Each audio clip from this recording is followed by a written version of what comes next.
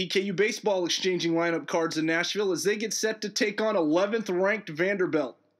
Cornell Nixon leading off takes this 1 0 pitch to left to give the Colonels an early base runner.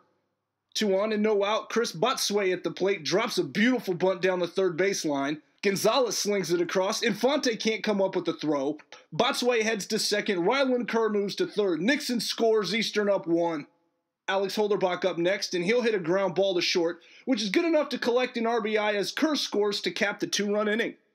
Top three, Kerr up with one out, and he's first pitch swinging going the other way. This drops just fair and shallow right, and Kerr has a stand up double. Runners at second and third, still one out, and Holderbach gives Day a haircut as he smokes this one up the middle. Kerr and Botsway score. Two more RBIs for Holderbach as EKU goes up four. Bottom of the frame, Kaven Brown trying to escape a bases loaded jam. Gonzalez at the plate, he can't reach that one. Paul up next, and he can't check his swing as Brown leaves him loaded.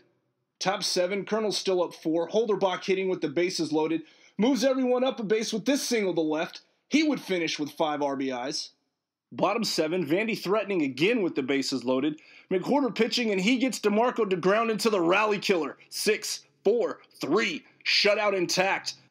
The Commodores would play five over the next two innings to make things interesting, and with the winning run at the dish, Aaron Ochsenbein would get Infante to line out to center as Eastern Kentucky holds on for the 6 5 victory. Kaven Brown picks up his first win of the season, throwing five and one thirds innings of shutout baseball. He scattered three hits and struck out eight. It's the second time this season EKU baseball has beaten a top 15 opponent, and the Colonels are back on the diamond tomorrow when they take on the Mercer Bears. That game can be seen on ESPN3. I'm David Miller for EKU Sports.